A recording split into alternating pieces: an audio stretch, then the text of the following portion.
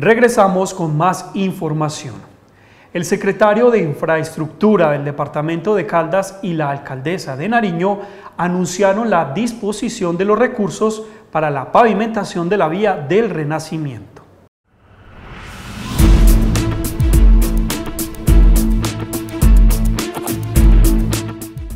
En repetidas ocasiones, gobernadores de Antioquia y Caldas habían anunciado la pavimentación de esta vía. En esta ocasión, ante la apropiación de recursos, la posibilidad parece más real.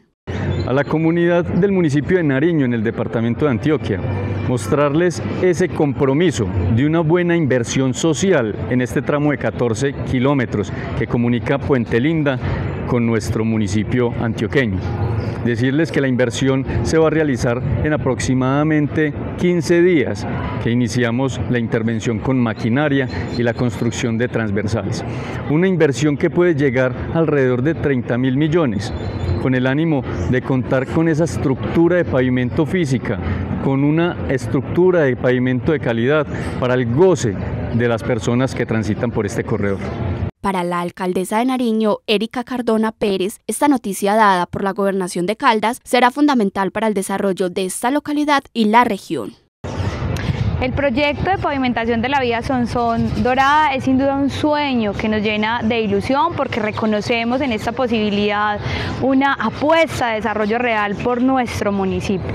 Este primer contrato, donde ya hay una apropiación de recursos real para atender unos tramos en Caldas y en Antioquia, nos llena de gran expectativa.